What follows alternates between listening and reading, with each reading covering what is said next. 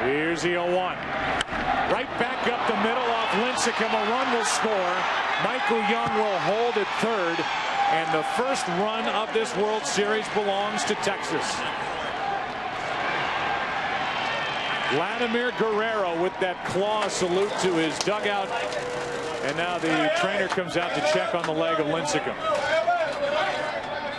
Let's see which leg it was. That ball was headed for center field. It could have scored two runs. Looked like its left leg. The ball caroms to the right of Aubrey Huff, who tracks it down to hole Michael Young to third. Looked like it hit right below the left knee on the inside part of the left leg. He appears to be all right.